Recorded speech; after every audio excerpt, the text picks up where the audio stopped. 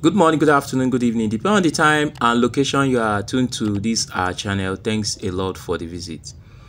These uh, HJ farms have been in Nigeria now. They've surfaced for six months now, and I bet you this platform worth more than two billion naira. That's the amount they have harnessed from uh, people. Watch this video to the end. We'll see at the end to talk about this platform. Is about a platform HJ Farms Pro Review, an agricultural investment scheme which claims to officially have a cooperation with the Nigerian government by providing a unified way in which its members can invest in different agricultural products to earn daily profits.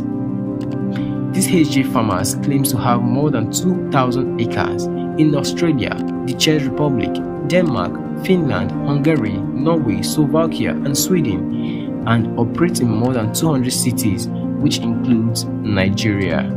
Get straight to it. HJFarms.pro is nothing but a Ponzi scheme.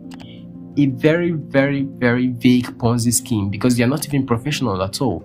The lies they told on the platform, the lies they have mentioned or they have told us is very, very basic. You don't want to fall for this. Putting it out to you directly, don't invest in this platform. This platform is nothing but a platform built upon lies. And something that's standing on lies would never work. Simply don't invest into this platform. That's my verdict about this platform. So, my people, nothing much to say about this platform. You have heard it all. If you have not invested in this platform, please run away because invest uh, uh, registration is still going on. They say if, they, if you invest 10,000, they'll give you 200,000. If you invest 200,000, they'll give you a million, something like that. If you have not invested, run away. If you have invested, sorry, these people have made away with billions of naira. So guys, that's the update. Stay away from this platform. HJ Farms.